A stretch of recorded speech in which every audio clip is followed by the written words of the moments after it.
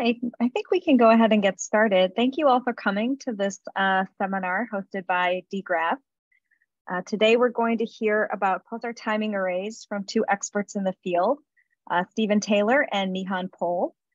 Uh, Steve Taylor is a, as an assistant professor at Vanderbilt University and the current chair of the NanoGrav collaboration.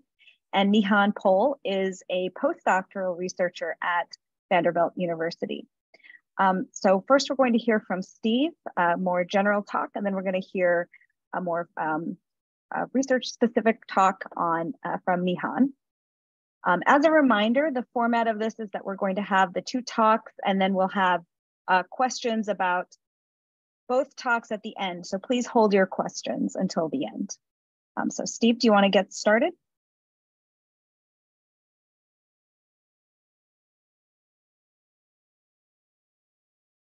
Yeah, thanks so much, Sarah. Um, hopefully people can hear me and uh, also see the right screen. Does that look good?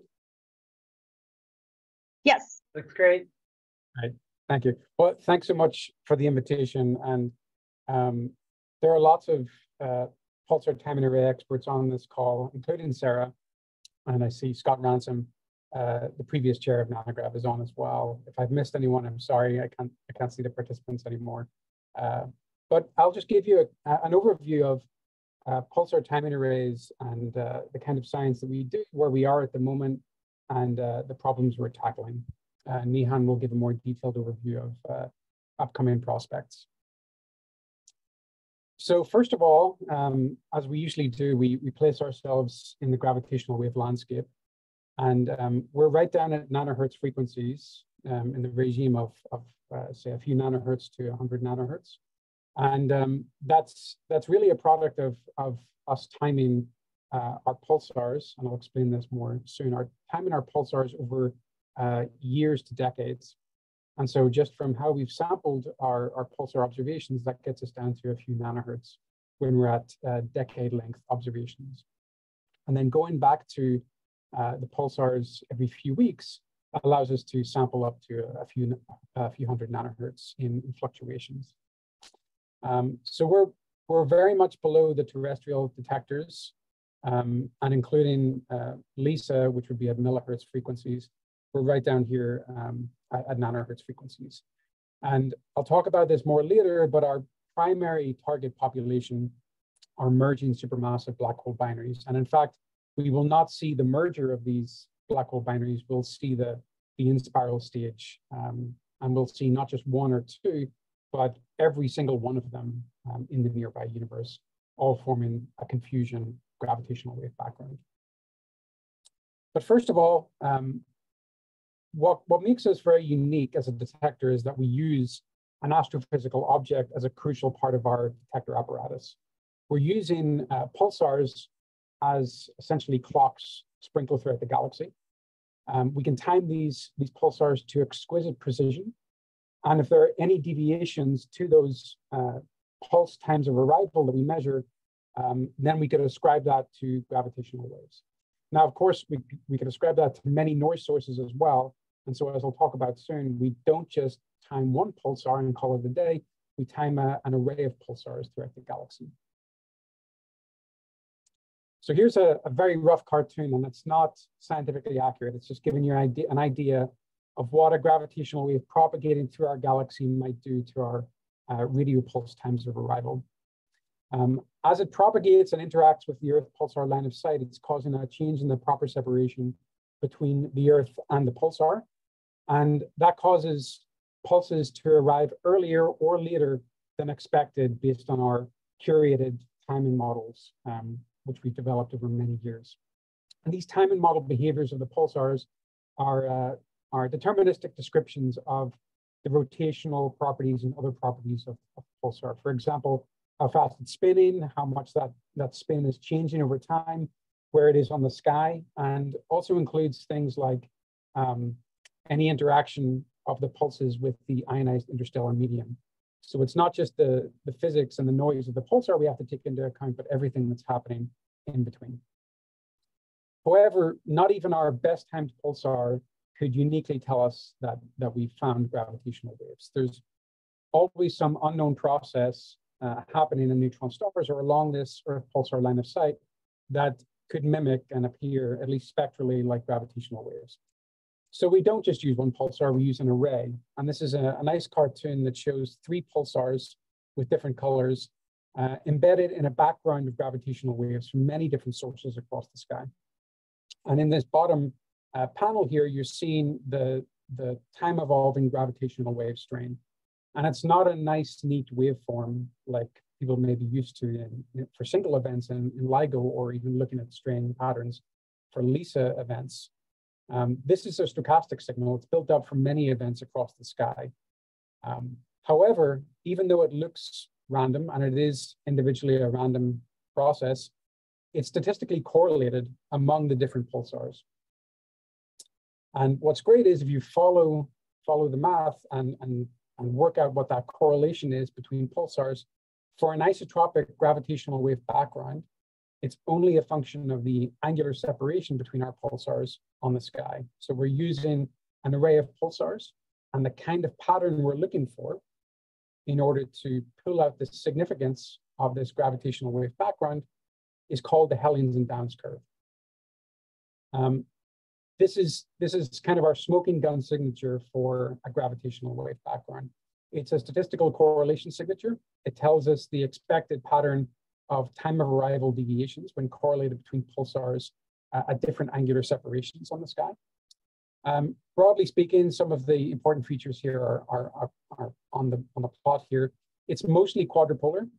However, the antenna response pattern for pulsar timing arrays has a preferred direction, and that, that's just saying that the, the, the uh, gravitational waves are um, uh, coming from directions close to the pulsar um, are more preferred. So we have more sensitivity to gravitational wave lines of sight close to the pulsar positions. And so that breaks some of the symmetry and leads to the Hellings and Downs curve coming back up to half its value once we get to angular separations of 180 degrees. Um, so detection or, or significance of the gravitational wave background in PTAs requires us to extract significance of this curve, this and Downs curve. And to do that, we need to have many pulsars um, sprinkled across angular separation space uh, in order to fill out this correlation curve. Um, so it's not just finding a cluster of pulsars close together on the sky, that will certainly give us high signal to noise, but it wouldn't be able to trace out this pattern, and uh, and this pattern really is quite unique. We can't we can't devise anything else that would produce this quadrupolar-like pattern. So many pulsars are needed for this endeavor. Um, going back to sources, what we might expect for sources of these frequencies, um, the primary population we're targeting are uh, supermassive black hole binaries, which should be ubiquitous as a consequence of galaxy mergers over cosmic time, um, where massive black, massive black holes reside in the centers of mass, massive galaxies. And as galaxies grow via mergers, um, those, gal those black holes in the centers eventually find each other and form binary systems um, that will emit gravitational waves in the PTA band. So in the same way that this kind of pattern, and I'm sure everyone here is familiar with, with what this is, this is GW 150914 um, in, in Livingston and, and Hanford, uh, overlaid on top of each other. In the same way that this waveform pattern is signaling this physics, for us in PTAs, this Hellings and Downs curve is signaling a stochastic gravitational wave background, um, likely from a population of inspiraling supermassive black hole binary systems, um, which should be out there in the universe at our frequencies. Well, who are we and, and what are we uh, what are we doing uh, together? Um, I work mostly within NanoGrav, and I'm the current chair of NanoGrav, which is the North American Nanohertz Observatory for Gravitational Waves. Uh, we use um, the Green Bank Telescope in West Virginia. Um, we also use CHIME and VLA observations as well. Uh, Arecibo observations have formed a huge uh, anchor in our data set. Unfortunately, obviously, we can't uh, use it anymore, but it's a crucial part of our data sets uh, and will be into the future as well as a consequence of the long timescale signals we're looking for. Uh, we also have European partners um, this is a, a, smattering of the radio telescopes that they have access to in the European Pulsar Timing Array. Uh, there's also the Parkes Pulsar Timing Array, which uses one telescope, the Parkes Radio Telescope. Um, and we've been joined in the International Pulsar Timing Array by the Indian PTA, which uses GMRT. Um, we also have some other more um, telescope-centered um, missions like MeerKAT.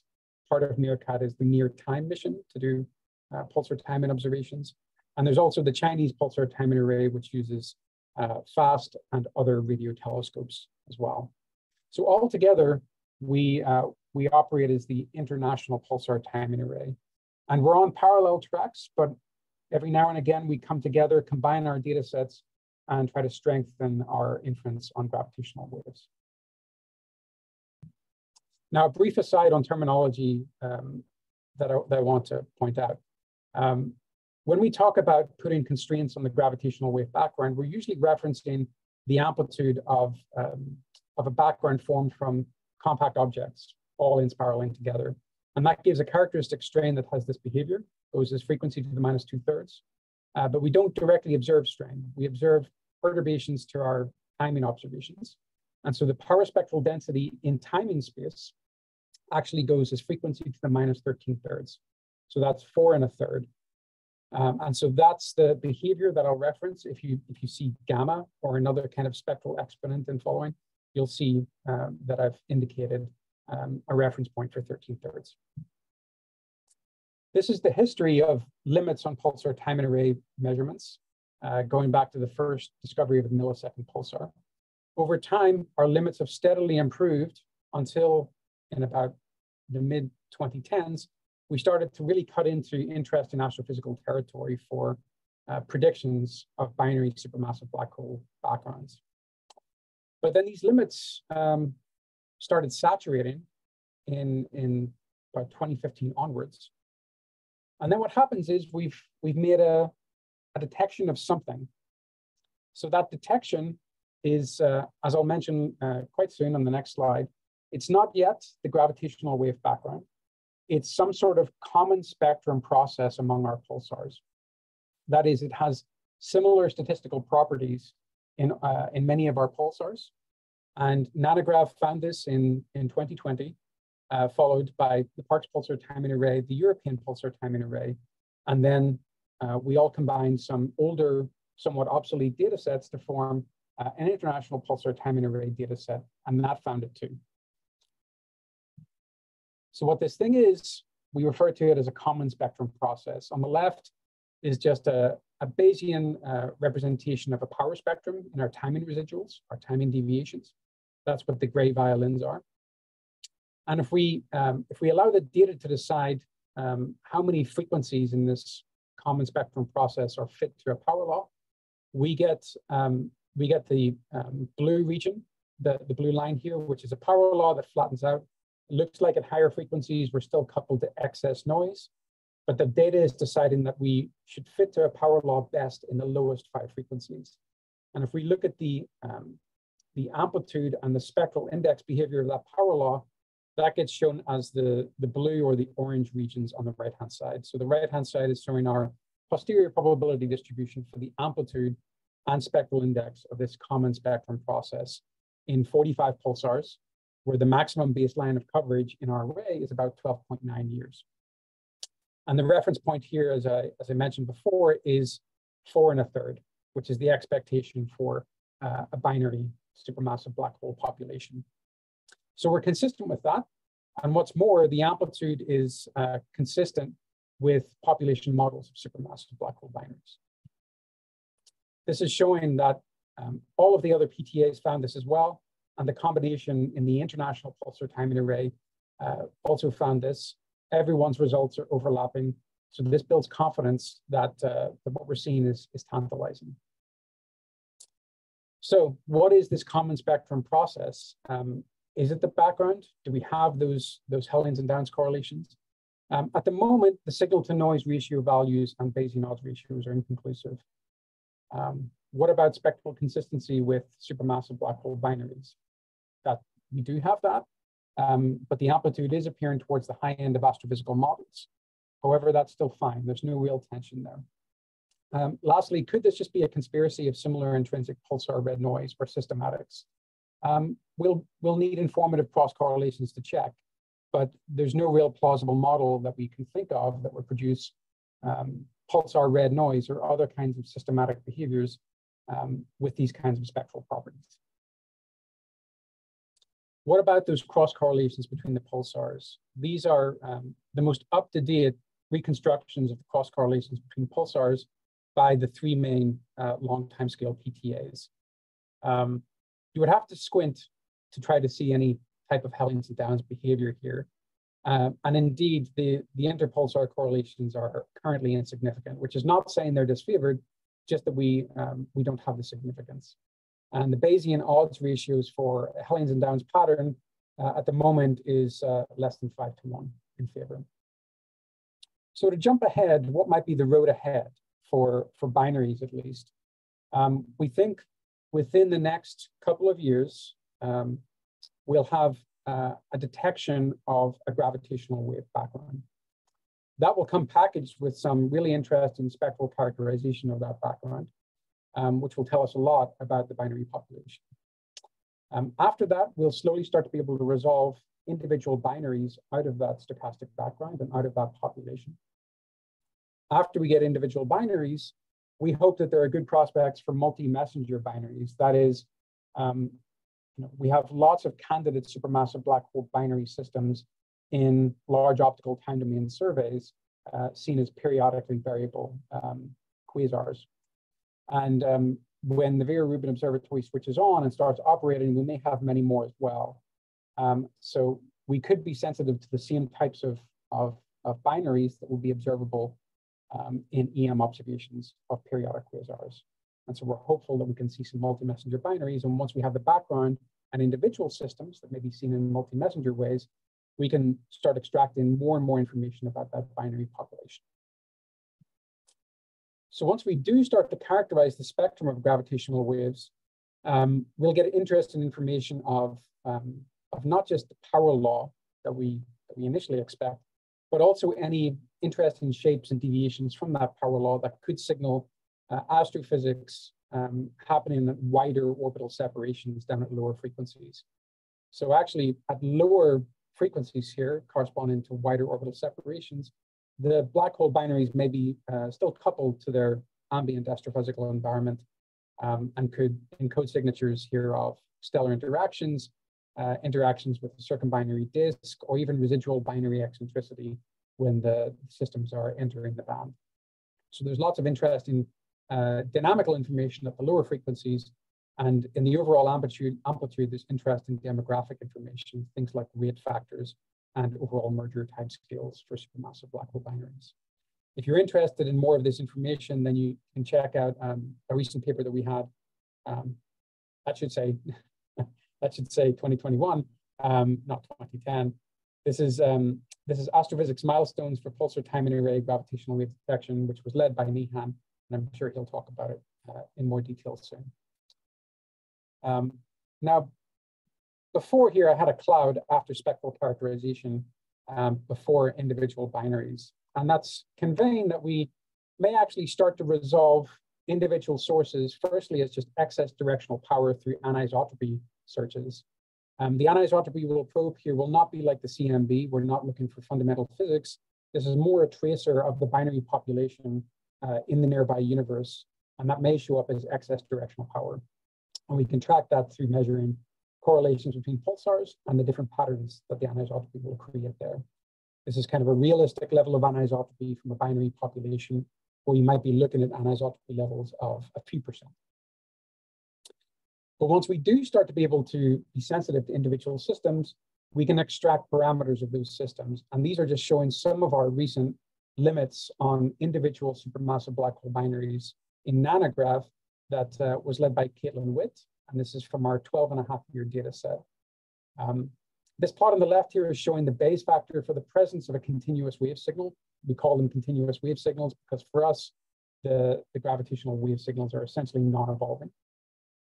And it's also showing the importance of taking into account this common spectrum process as well. Otherwise, we get biased inference of, of Bayes factors for continuous wave sources.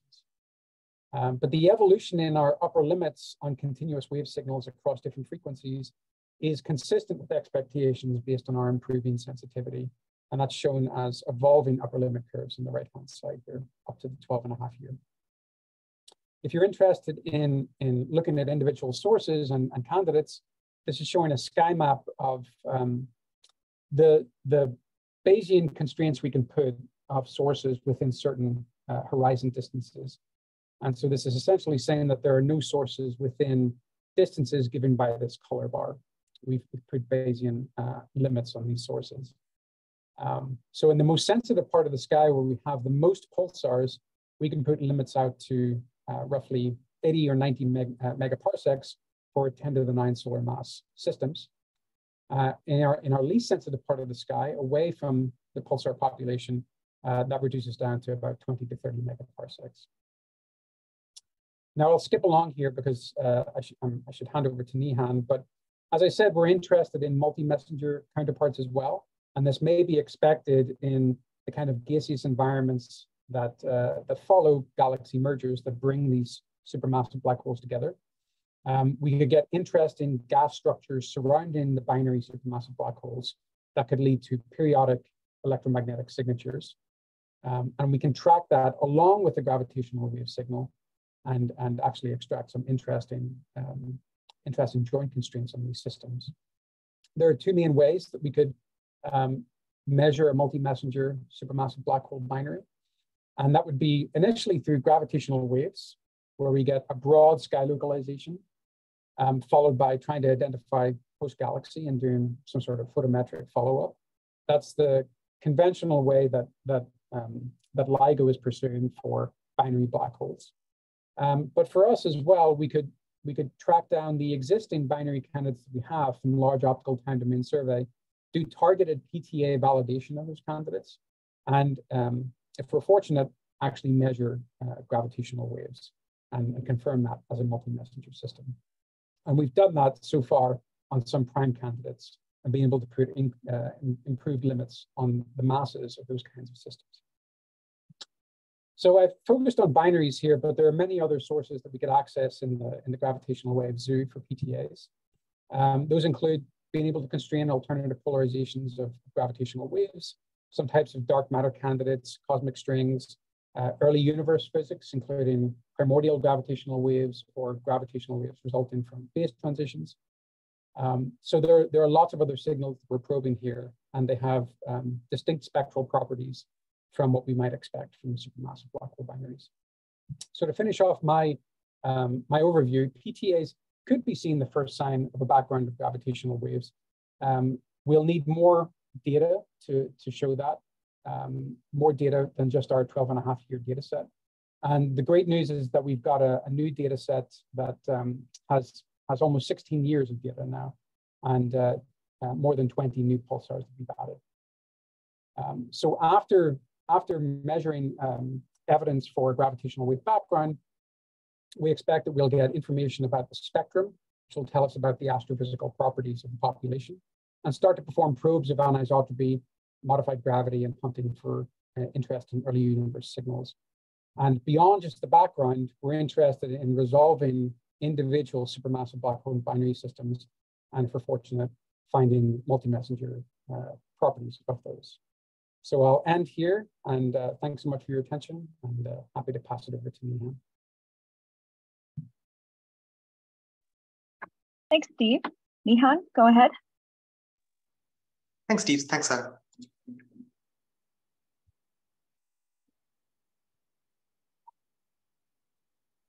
Okay, I'm assuming you can see my presentation. Yes, we can. Okay, excellent. Um, yeah, so thanks for inviting me again. Um, and um, I'm going to pick up where Steve left off. And we're going to take a little bit of a step back and um, focus in this second part of the talk mainly on the gravitational background, which you'll see um, uh, represented on all of these slides as GWB.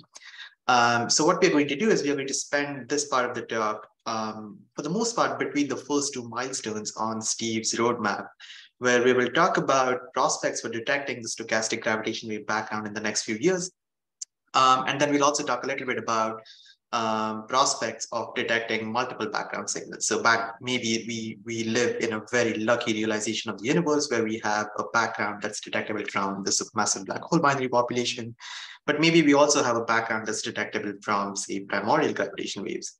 So we look at um, how our current methods are set up to detecting multiple backgrounds in our data sets. And then finally, we take a step further beyond that second milestone and look at how we can search for anisotropy and how that might serve as a bridge um, towards detecting individual systems and the methods that we've developed to perform searches for anisotropy in our datasets. So first off, let's begin by talking about um, detection prospects for a single stochastic gravitational wave background. So to try and quantify um, the detection prospects in the next several years for a background, um, what we did was we started out with the 45 pulsars that were present in the Nanograv 12 and a half year data set.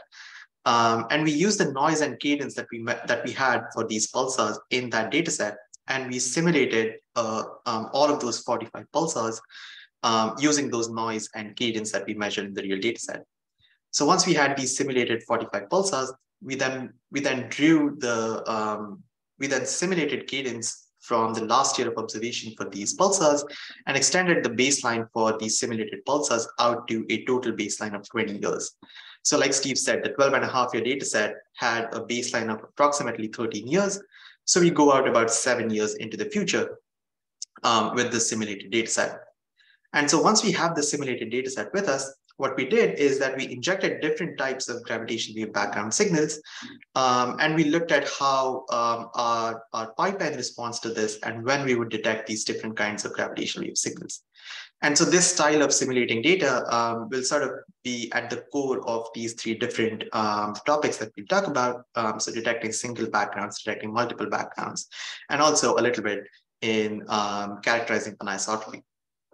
So for this part in particular, we um, injected four different types of um, gravitational wave background signals shown in this plot on the right-hand side, where we injected a simple pure power law. And we also injected three more realistic spectra that would that would be expected to come out of a um, supermassive black hole binary population generated gravitational wave background.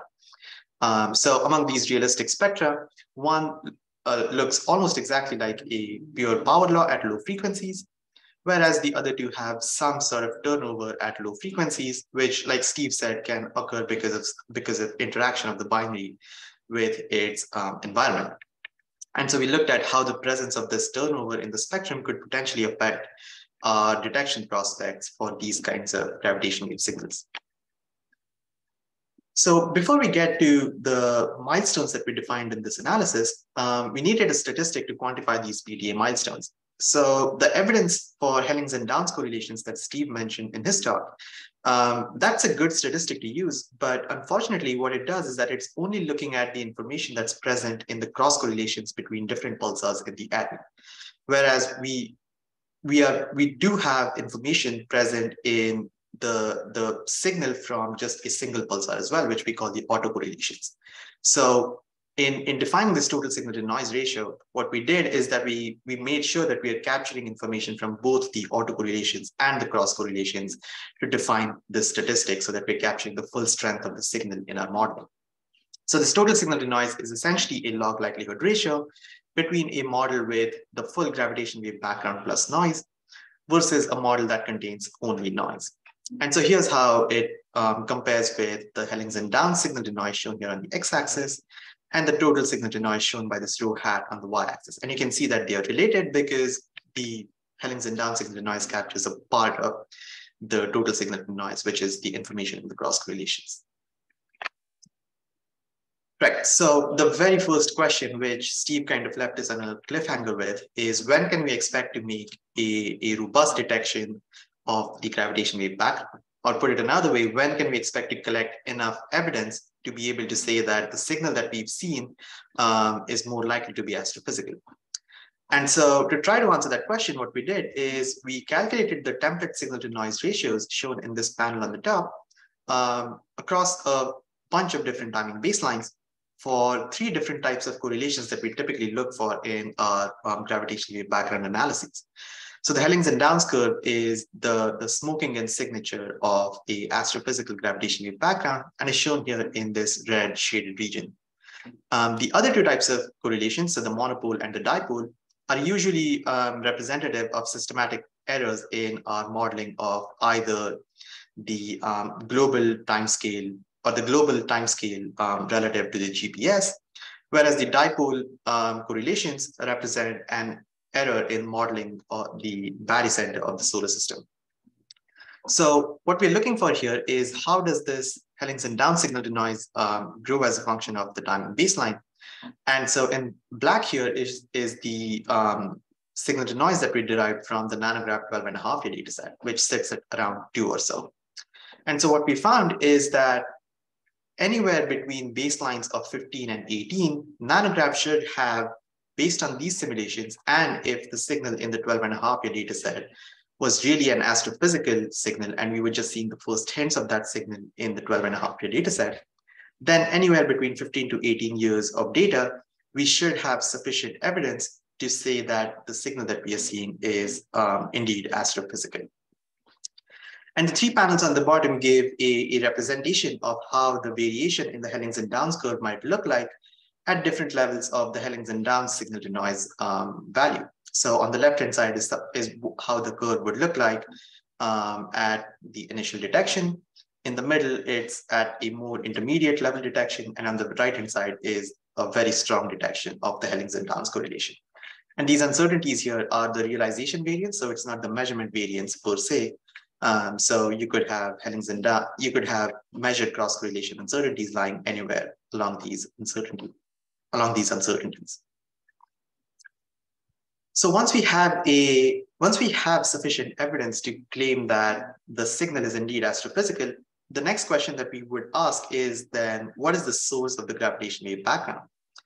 And so typically most of our modeling involves trying to characterize the gravitational wave background using a power law spectral template. And so what we did in this analysis is we looked at how the fractional, fractional uncertainty on the amplitude shown here on the left and the uncertainty on the spectral index shown here on the right would evolve as a function of the total signal to noise. And so what we found is that at the initial detection, we expect to have a fractional uncertainty of about 44% on the amplitude and about 40% on the spectral index for the um, gravitational wave background that we would detect.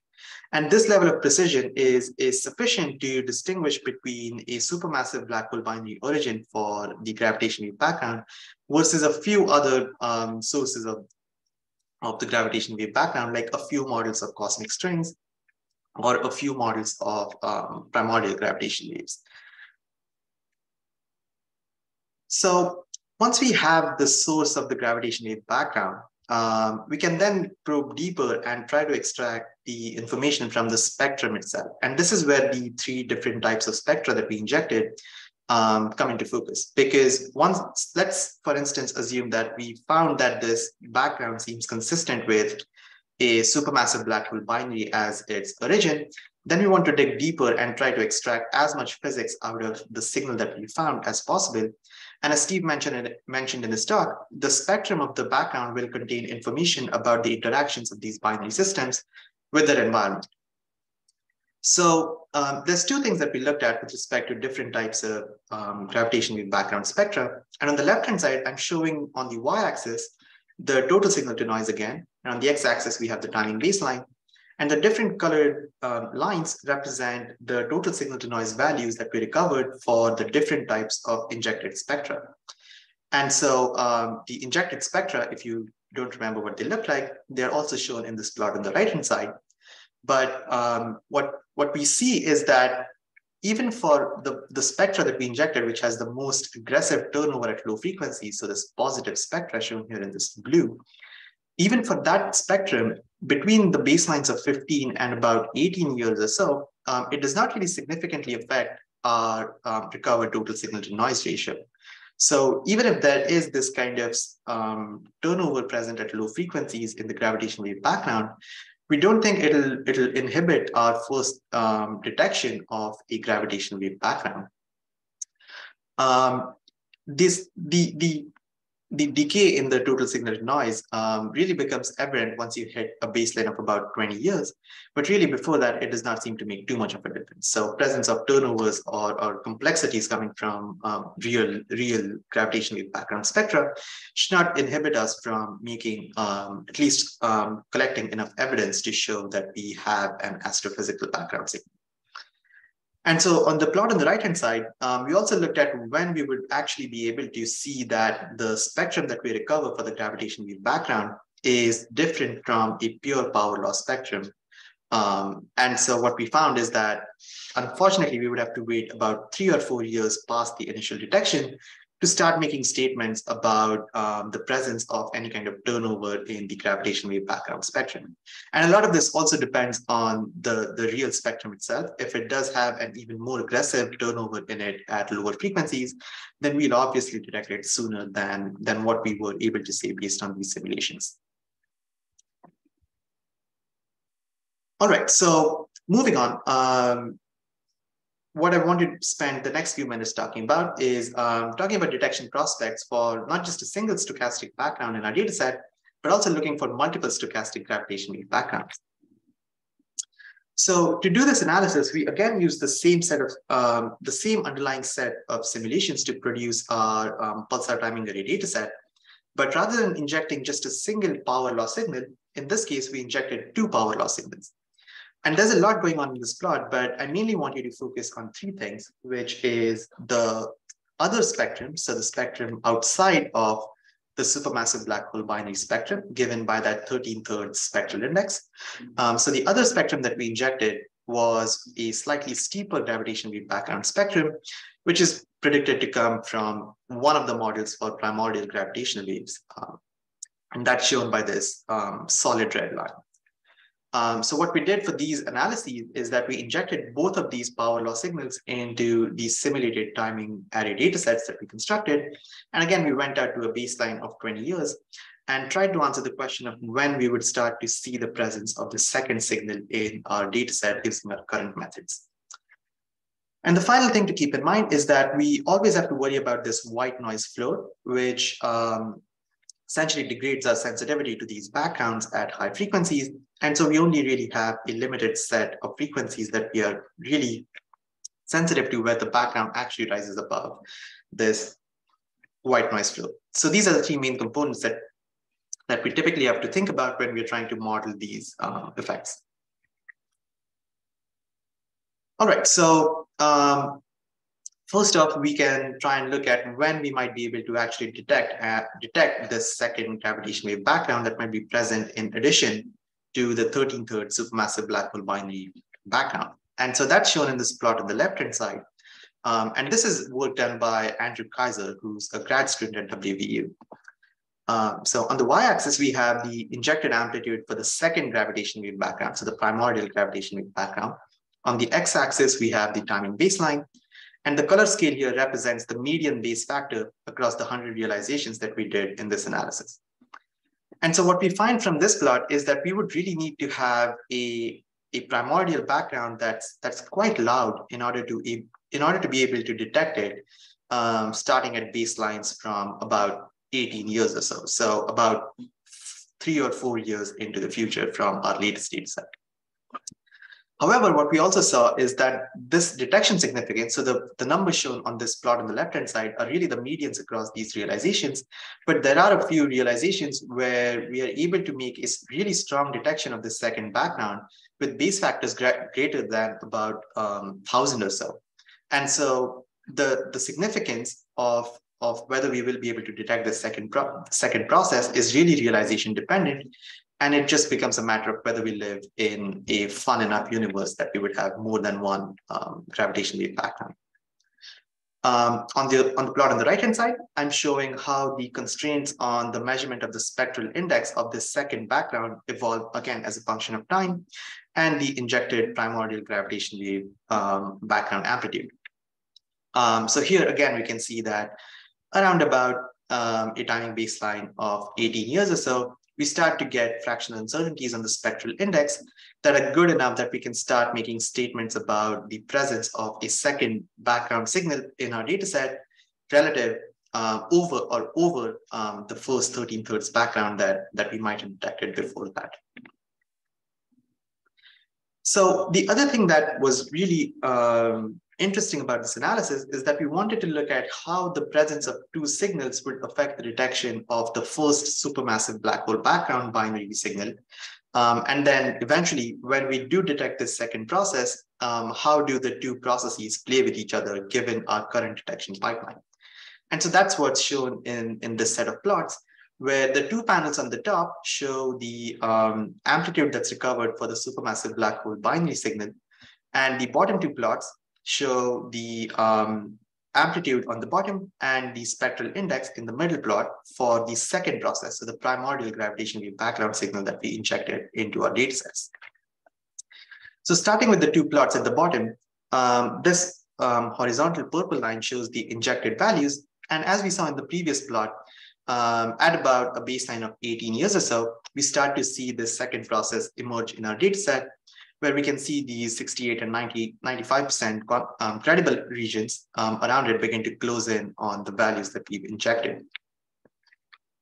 But what's also really interesting to look at is how the presence of this second background affects this first background that presumably we'll detect before um, this second process. So what we see is that this horizontal red dash, dash dotted line shows the injected supermassive black hole background amplitude in these simulated datasets.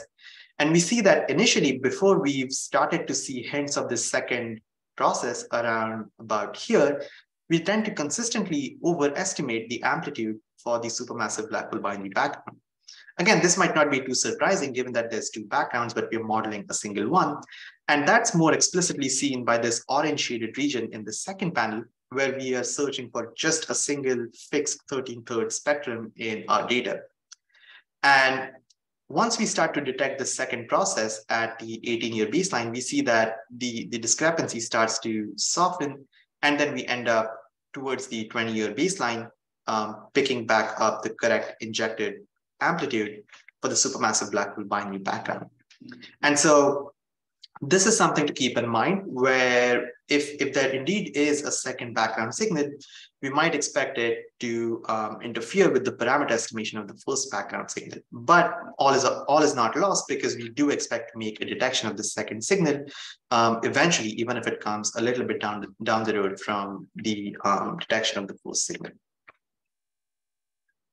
So so one one valid point that you might bring up is that this is only happening because we are limited by just these power law models for um, modeling these two backgrounds. So to sort of work around that, we also looked at the um, full spectrum that we recovered for the processes in our data. And unfortunately, we did not see any, any hints of any spectral features in our recovery of the spectrum of the process in our data that would tell us that there's um, two processes that exist in the data just offhand. Um, so that's shown in this plot where these two black lines are showing the two different processes that we injected in this particular realization.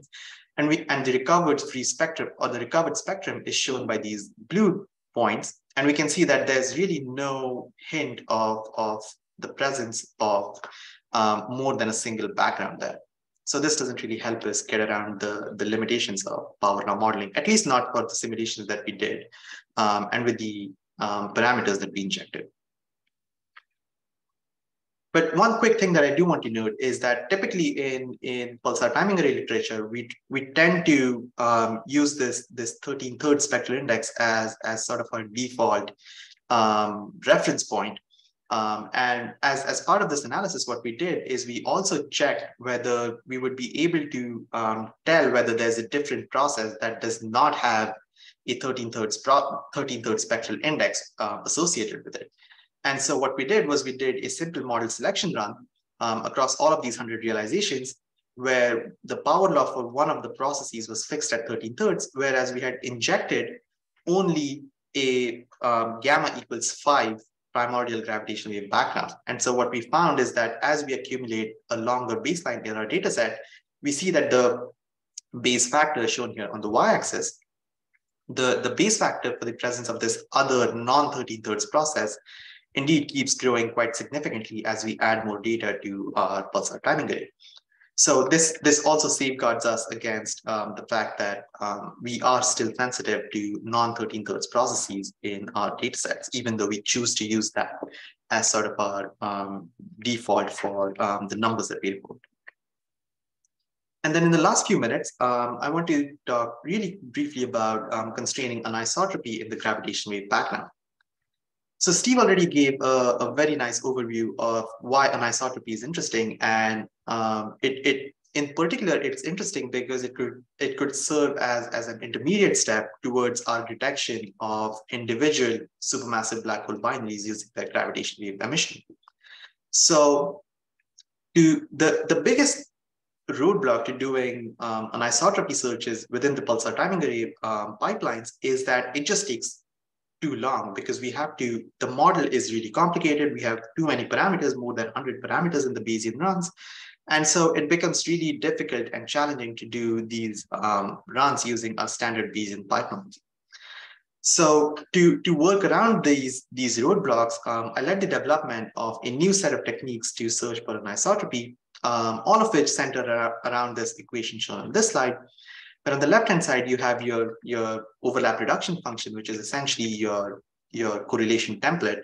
Um, so think of Hellings and Downs, um, that would be your overlap reduction function. And so we get this um, out from our current detection pipelines. Um, it's one of the things that we produce. Um, and so these methods are, are designed to tack on right at the end of our current Bayesian pipelines. So this overlap reduction function is equal to the this matrix F, which is essentially the product of antenna response functions for the pairs of pulsars in your PTA. And you know this matrix once the PTA sky configuration has been fixed. So essentially, once you have your pulsar timing array, you know what this F matrix is. And so all that's left to do is model or search for the power on the sky. So if you had a perfectly isotropic background, the, this matrix would just be once um, all in it, and you would end up with a Hellings and Downs um, code. And so the software to do all of these searches is available on GitHub at this package. So the final missing piece is choosing a basis with which you want to represent your um, gravitational background power. And typically the most popular um, um, bases that people use are either the pixel basis, which is optimized for pixel scale features, so things like individual supermassive black hole binaries, or the spherical harmonic basis, which is optimized for larger extended features. So think of things like clusters or large overdensities of inspiraling supermassive black hole binaries in, in one particular part of the sky. So the, the drawback with using the spherical harmonic basis as is, is that it, it does not condition the power to be positive across all sky. So as a result of this, what we did was we um, used a slightly modified basis where rather than modeling the power itself, you model the square root of the power. And by modeling the square root of the power, you by default force the power to be positive um, all across the sky. And you can then decompose the square root power onto a spherical harmonic basis. And so the idea behind um, calculating your coefficients is essentially the same, but you get this inbuilt regularization um, essentially for free when you do um, your calculations in this slightly modified basis.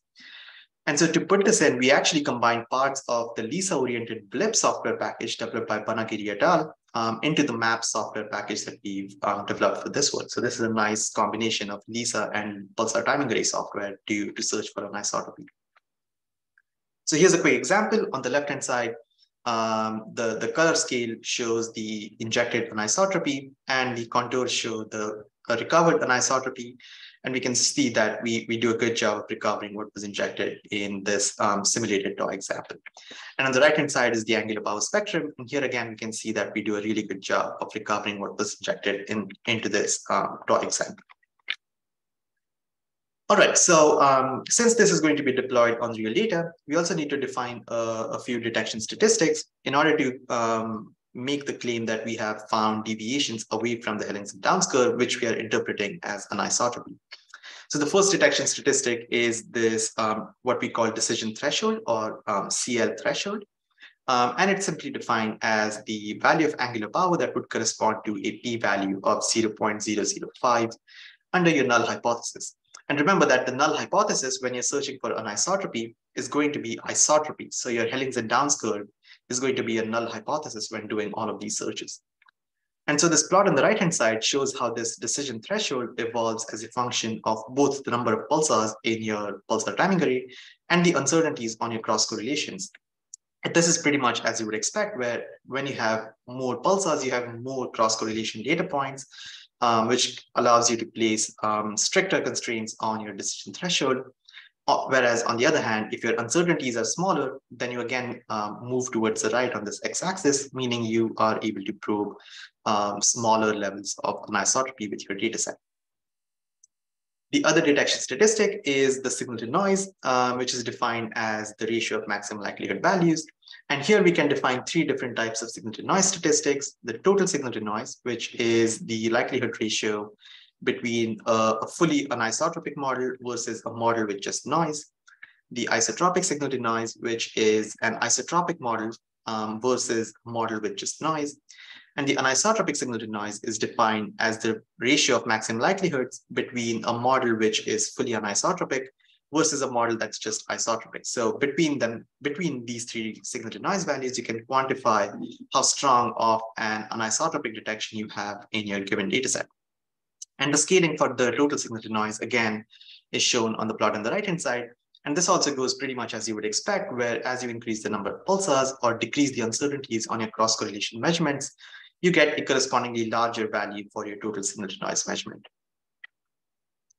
All right, so um, linking this back to the set of simulations that I introduced at the very beginning of the talk, uh, we took the same set of simulations, but this time with 100 realizations, um, and we calculated the um, cross-correlation uncertainty for all of these um, different data sets, which is shown here on the plot on the right-hand side. Um, and we can see that between the baseline of 13 years, so approximately the 12 and a half year data set, and the 20 year baseline, the cross correlation uncertainty, the median cross correlation uncertainty at the very least, um, improves by a factor of eight. And so since we've injected just an isotropic gravitational wave background in these data sets, we want to take a look at how the different detection statistics that we've defined would evolve under this isotropic background injection. So we are essentially looking at how the null distributions evolve um, across these um, different timing baselines for the nanograv datasets. So here's how the um, signal to noise statistic evolves under this um, isotropic injection, where you would expect the anisotropic signal to noise to always stay consistent with zero. So that's shown by these orange histograms in these two plots. So the plot on the left-hand side has a timing baseline of 13 years, and the plot on the right-hand side has a timing baseline of 20 years. And we can see that the anisotropic signal to noise always stays consistent with zero, whereas the total and the isotropic signal to noise um, move away from zero and increase in value because we have indeed injected an isotropic background. And so this sort of sets expectations for what level of, um, for what value of the anisotropic signal to noise we would need to see in the data to actually believe that um, this is inconsistent with the null distribution for the um, signal to noise statistic. And we can do the same thing with the decision threshold. Um, and here I'm showing the evolution of this detection threshold for the um, nanograv simulations as a function of the timing baseline on this plot on the left-hand side, where we have the best constraints for the lower uh, spherical harmonic multipoles, and these get um, progressively worse as you move to higher multipoles. Um, and the plot on the right-hand side shows, again, the evolution of the decision threshold, but here it's plotted as a function of the um, angular multipole itself. And so what, what I particularly want you to note on, from this plot on the right-hand side is that the, the points shown here in purple are the only existing limits that were placed by the EPTA um, pulsar timing analysis in the 2015 analysis. And so even with the, the 12 and a half year data set, we actually would have sufficient sensitivity to start placing better constraints than the EPTA 2015 analyses. And these would only get better as we add more data into our pulsar timing array datasets. So I'm a bit over time, so I'll, I'll leave my summary up here. Um, this is a really exciting time in, in not just pulsar timing arrays, but also in nanohertz gravitational astronomy and astrophysics. Um, the, the we expect to have sufficient evidence for um, an astrophysical background in the next several years. Um, so stay tuned for, for news from the PTA community. And um, the current PTA methods are also very well um, placed and able to place constraints on the presence of second of a second power law background signal in our data. And we are also able to place some of the most stringent constraints on anisotropy in the nanohertz gravitation wave background, um, even with just our current data sets. Um, thank you for thank you again for inviting us, and we're happy to take questions. Thank you, Nihan. Let's thank both of our speakers. Okay, we have a few minutes for questions. So do people have questions for our speakers? Please don't be shy.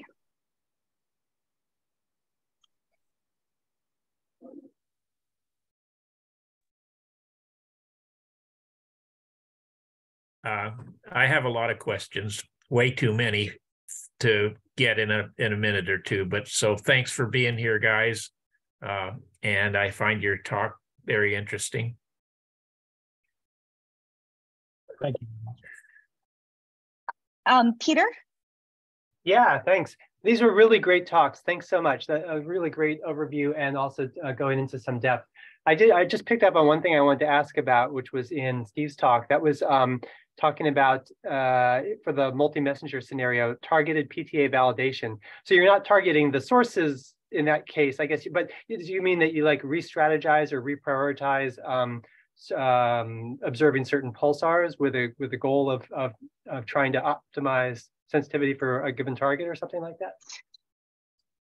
Um, that would be a that would be a broader issue. I was just talking about using existing arrays to um, perform targeted searches on, on known candidates. Um, there are about 150 or so, maybe more of these um, periodic quasar candidates um, for supermassive black hole binaries. And um, it's sort of impossible at the moment to say one way or the other because um, intrinsic AGN variability can appear periodic on, on, on short uh, numbers of cycles.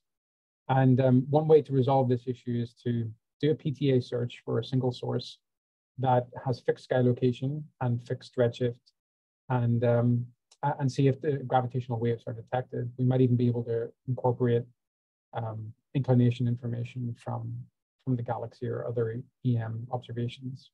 so that's one possibility. And what you're saying is is really something we'd do if we had um, high suspicion that that one of the candidates was real, um, because that would involve changing our observing um, schedule and our strategies to really direct towards one particular candidate or a few candidates. At the moment, um, it's it's not really known whether any of these are, are plausible or not. But with more baseline, we'll uh, we'll certainly be able to resolve that with PTAs. Okay, got it. Thanks.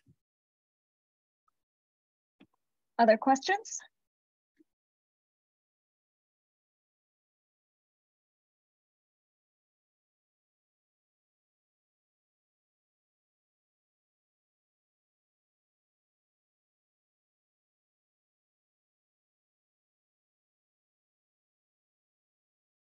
Uh, Keith?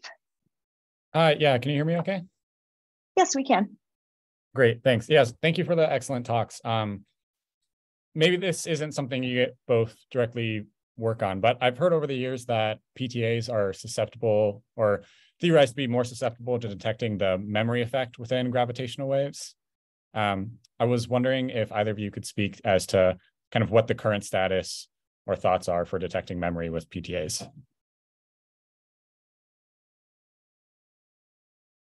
Nihan, do you want to field that or, or shall I take it? No, go for it.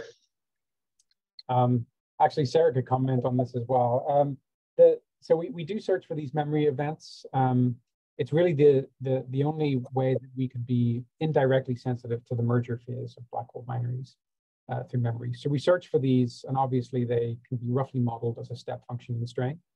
Uh, but when you translate that to what it looks like in, in the timing deviations that we're sensitive to, um, it looks more like a ramp.